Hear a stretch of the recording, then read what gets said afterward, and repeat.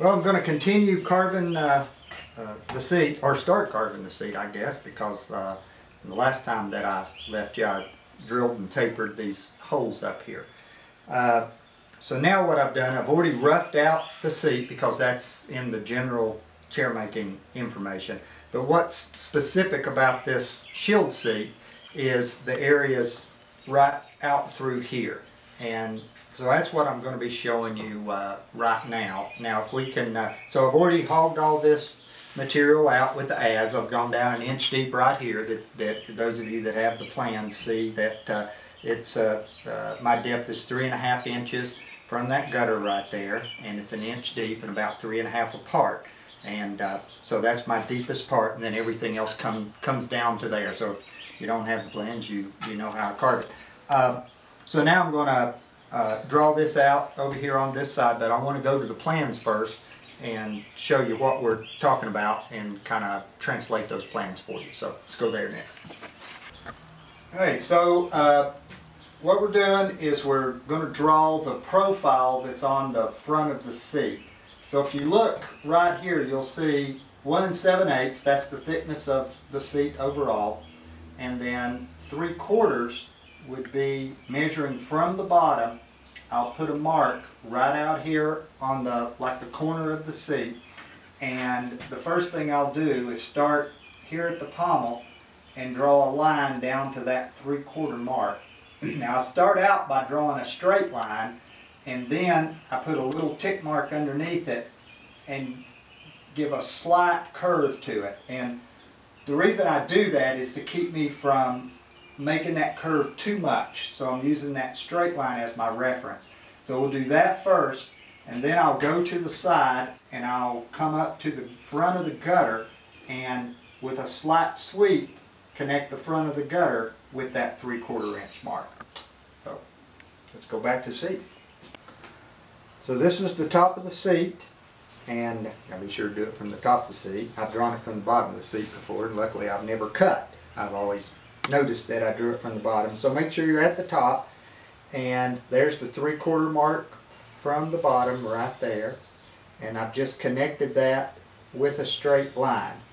Um, now I'm going to put a mark about say right there about an eighth below and using the straight line as a reference I'll make a sweep to come around right like that now I'll have to do I can't do that while it's on the side. I'm going to have to raise it up and you won't be able to see it but then I'll show it to you. So I'll raise it right like this. Okay so now I've got these two kind of not so well defined crooked lines here that I've free-handed my draw knife straighten all that out and I'm going to cut down to. Then we come over here to this side. So there's the front of the gutter right there. And I just draw a little sweep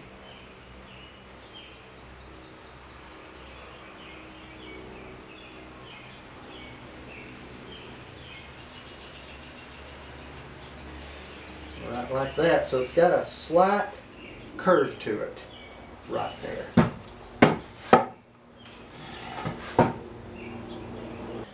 Okay, so I've got the left side drawn now, I've got both sides. Uh, then I'm going to start cutting into it with a draw knife. But before I do that, I want to take you back to the uh, topographic map, uh, the contour, showing the contours of the sea, and I'll show you what I'm what I'm going to go after. Okay, so here's the uh, topo map and it's on eighth inch increments so it's starting at an inch and seven eighths and uh, going down. So right here's the one inch mark. It goes a little bit uh, a little bit deeper than that. So I go about one inch deep right here right here in the middle. And you can see how steep it is coming back up on the back and uh, how just almost a straight shot just with a slight curve in it coming down to the bottom. But the the problem areas are right in here on this particular chair. I like to have a dip right here and come back up to a little high point there. I ought to have the leg shown here. It'd be good so you could reference off of it. The leg is about right there, right on the edge of, of that topo line right there. So you can see I dropped to about, I dropped down about a quarter inch right here off of this and dropped fairly fast. So that's what's pretty right there, is dropping off pretty fast. And then I come back up an eighth of an inch right there. So that's an eighth lower than this. And then I drop back down another three eighths or so and then back up again. Uh, so it, this area is where you can cut a V that you don't want the V. And uh, so it's actually a good precursor to the bottom cut back over here, which is a real difficult cut, which we'll get to later. But right now I'm going to show you how to do all of this, but in particular concentrate on this area right, right there. Okay. Okay. Okay. Okay, so the cutting off this section right here, and uh, the way that I use the draw knife is you're trying to use the whole entire knife. So I'm starting way up here on this end or down here on this end, whichever way, and I'll be pulling right like that. So I'll be slicing and I've also got it skewed. And so you can take some big cuts like that. Okay, so uh, now you can get way back up here by getting that handle down into the seat. Otherwise, you're limited. If you don't get the handle down to the seat, then say you were cutting up here and trying to get back here, you can't do it because the handle's hidden. So that's the way I get so far down there. Okay. Now I'm going to cut right to the line.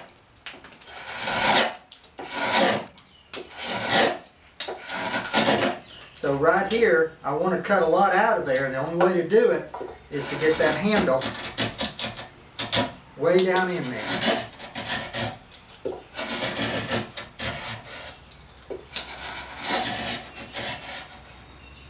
Okay, so there goes that part. And I'm going to turn around while you aren't looking and I'm going to do this part and because uh, it's done the same way.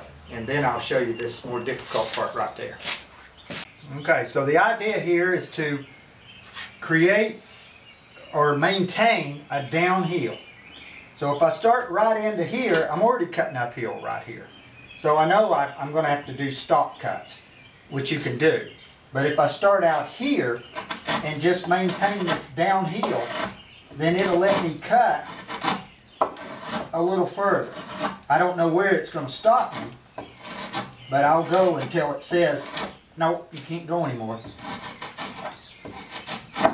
So I'm starting to get a little splitting right down here, so I got to watch it.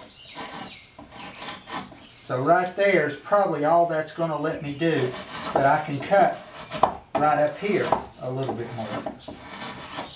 Okay, I like it a little bit crowned right there, and I'm down on my line now. So now I'm going to work my way up to here. Now to keep from cutting a V, you have to remove all the material in back of that bevel because what makes you cut the V is there's too much material in back of the bevel to be able to scoop and it forces you straight down and you end up cutting a V right here. So what I'm going to do is cut these stop cuts so if you can see that I'm ending my cut on the up note and so just think of it as trying to leave a little island right here. You're not trying to get all the way down to the line yet. You're leaving a little island here and I'm working my way up. So you see I've got the handle way down here so I can cut all the way across. Okay? But I'm still not down to the line. Working my way up. And now I've got about one more cut right up here and I'll be touching the line at this point. But I've still got my island right there. Okay, so I'm right at the gutter and now I'm right on the line and now because there's no material right here I can lay that bevel down flat and take out that little island that I left.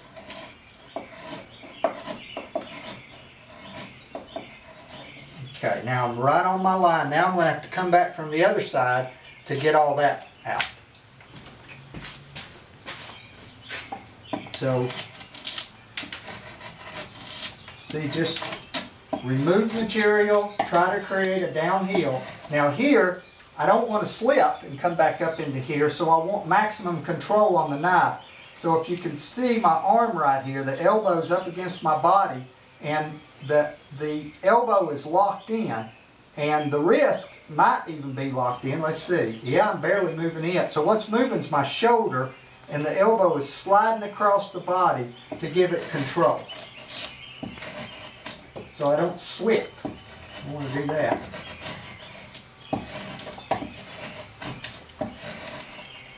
So once again, in no hurry to get to the line, just trying to remove as much material back up here as possible, leaving that little island right there.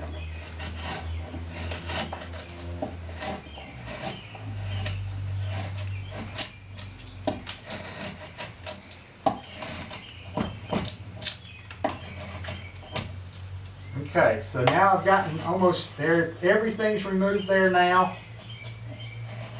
And now I can just lay that bevel down and come right into that last cut.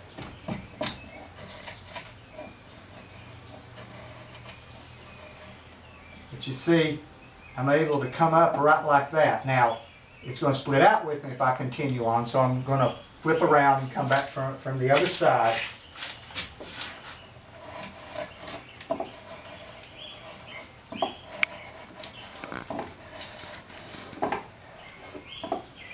There we go. Now I've still got a little bit of the original surface right there and this point is an eighth inch below this. So you can wait and do that with a scorp or I can just pop it off right like that. Okay, so I'll do the other, other side and uh, then we'll take a look at a little bit of blending there. Okay, so one of the more difficult parts is right just right back in here again because once again you can cut a V with a scorp just like you can with the with the draw knife. So I'm going to remove this very similar to what we just did with the draw knife. So I'm going to start right there, make a make some stop cuts and work my way back up towards the gutter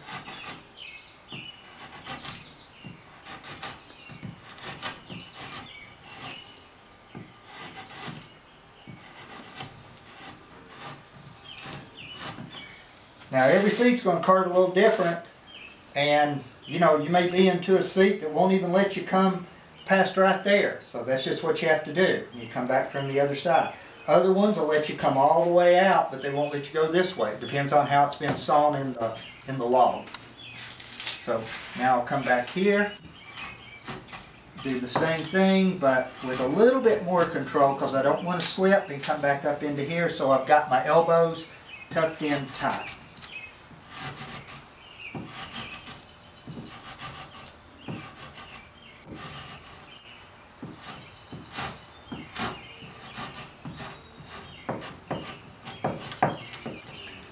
So there we go. A little bit rough right in there. That's fine. You could go back and get it with the scorp, but I'm going to be coming in with Travishers anyway.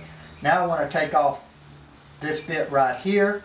Uh, I'm not sure which way it's going to let me cut. Look at that. Just really nice and pretty that way.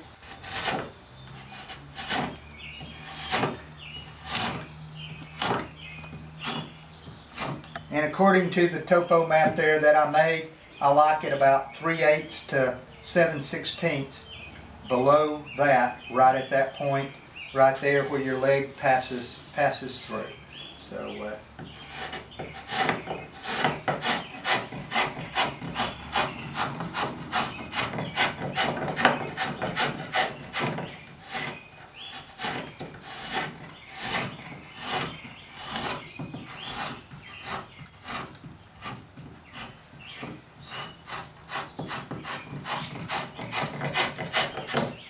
seat's not going to let you carve this way right there, then you're going to turn around and go back from the other direction.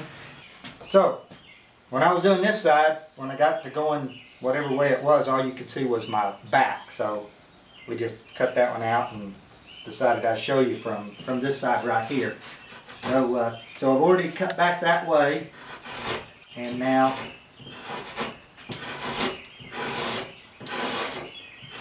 And your seat might want you to cut that way, it might want you to cut that way. It, it, it'll tell you if you listen to it. It'll start squawking if you're cutting it wrong.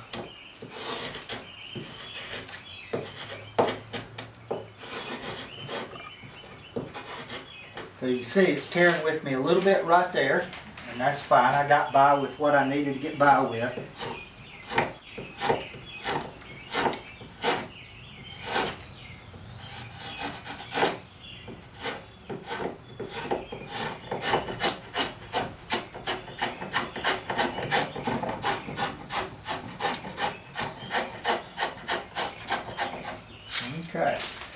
So now I've got those points down, those points down.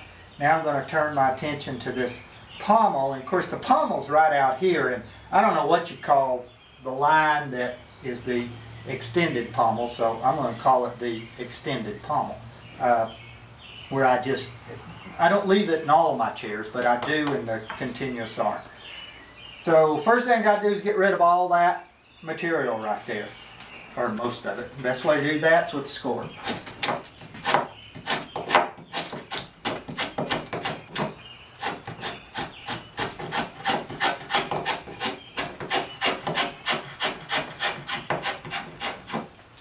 Okay, that ought to be enough. Now I'm going to redraw the line. And since this rule bends, and I've always got it in my hand, in my pocket,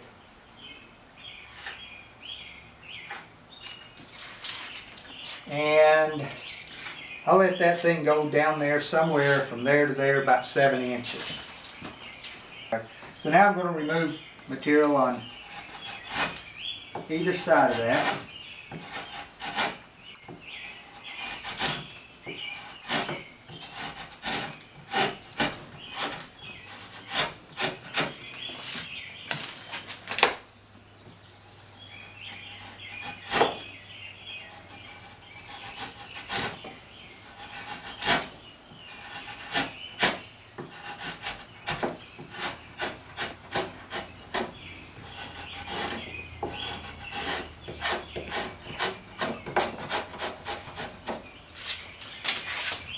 And maybe a little more right over here.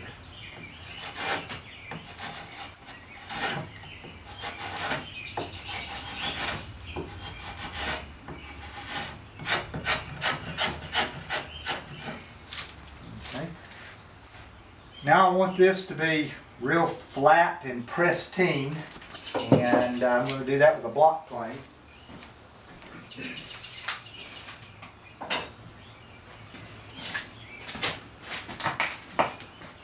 Got my little Stanley 60 and a half. See how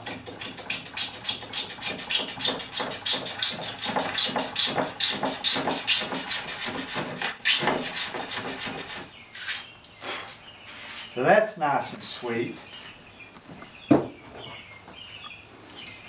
Now put the line back in.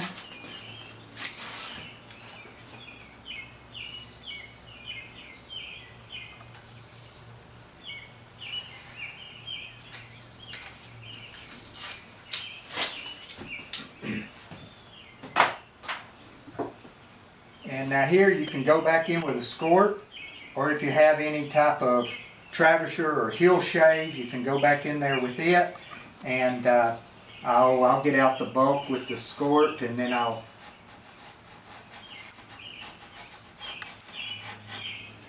So there's cut.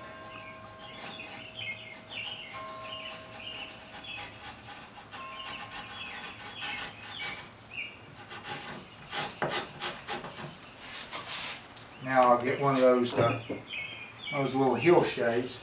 So uh, these little things, I, I showed these on that uh, basic information video. These are shoemaker's tools and the handles kind of curved down. I cut the handles off. Um, and uh, they, they get into some of these tight spaces real nice. So I'm able to get right up at that line.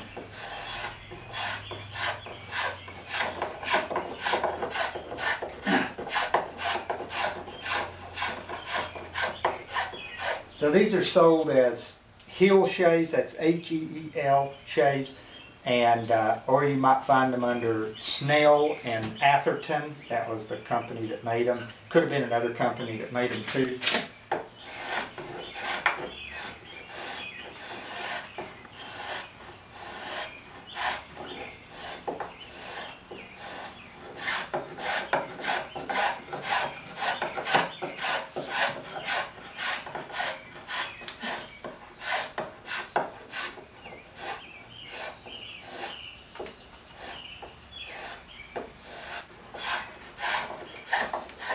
Okay, I with this thing all day, nice curls like that. Um, but I'm gonna stop on the seat right now because taking the Travisher to the seat, following it with a scraper, that's all in the basic chair making information and I don't wanna go into that on this because I've already filmed it, it's already there. So what I'll do is, uh, I'll finish up the rest of the seat without you looking, and then I'll turn my attention to the bottom of the seat where carving this right here is unique to a shield seat chair, the continuous arm and uh, cone back. Uh, and it's a real difficult cut. So I want to take a lot of time and slow down on that and show you show you how to do that. So that's what that's what I'll do next time.